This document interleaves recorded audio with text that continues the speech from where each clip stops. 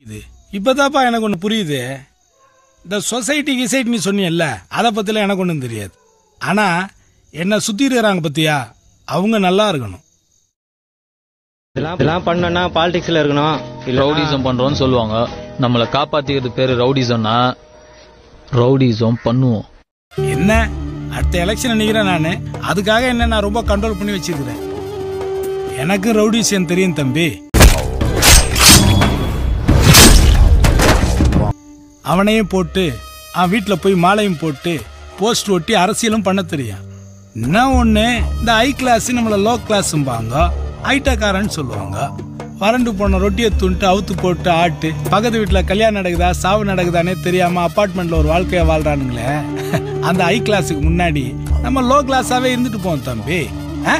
குட்ஸியோ குப்பமோடோ இது நம்ம ஊருகா. நம்ம தான் அதை பார்த்துக்கணும். நம்ம தான் இதுக்காக சண்டை செய்யணும்.